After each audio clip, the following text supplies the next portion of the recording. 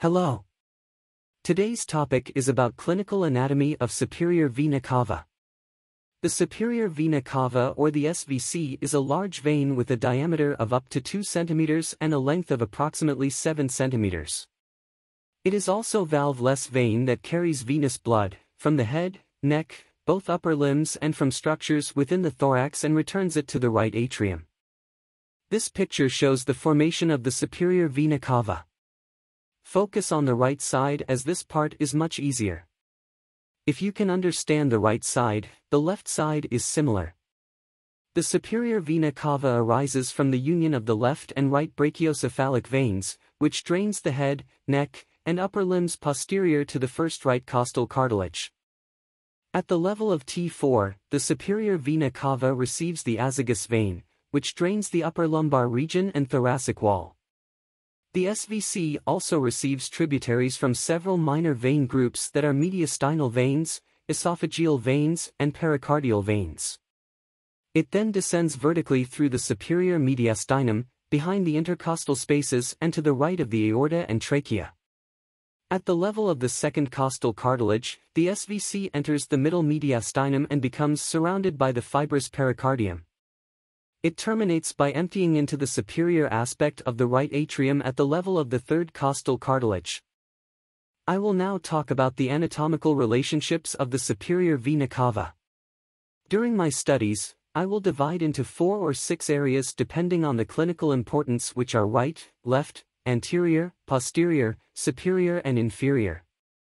Now we will just look at four important sides that are right, left, anterior and posterior. We will start with left side and followed by right side, anterior and posterior. On the left side of the SVC is the brachiocephalic artery and the ascending aorta.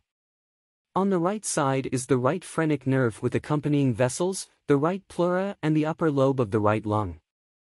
Now for anterior and posterior. Anterior to the SVC are the chest wall, thymus, internal thoracic vessels and the anterior margin of the right lung and pleura. Posterior to the SVC is the trachea, right vagus nerve and the root of the right lung. The portion of the SVC within the pericardium is covered by the serous layer of the pericardial membrane. Since the superior vena cava is formed by the union of left and right brachiocephalic veins, and the brachiocephalic is formed by the internal jugular and subclavian veins, we can visualize the right internal jugular venous pulse which represents the pressure in the right atrium. This is called as jugular venous pressure or JVP.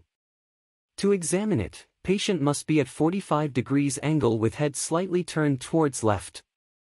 The JVP pulsation can be identified between the two heads of sternocleidomastoid muscles. Signs of raised JVP include SVC obstruction, pulmonary hypertension and right-sided heart failure. Another important clinical condition is superior vena cava obstruction. It can occur either due to external compression or from an occlusion within the vessel lumen itself. The most common cause obstruction is malignancy, like lung cancer, lymphoma, or metastatic disease. The obstruction interrupts venous return and can lead to swelling in the neck, face, and upper limbs. The clinical features of superior vena cava obstruction include shortness of breath, headache, chest pain and distension of the veins of the face and upper limb which causes plethora of the arms and the face. Superior vena cava obstruction can be assessed clinically by performing Pemberton's test. There are many images in the internet about this sign. You can Google them and see for yourself. In eliciting the sign, the patient is asked to raise both arms above their head. A positive test is indicated if facial edema or cyanosis occurs after approximately 1 minute.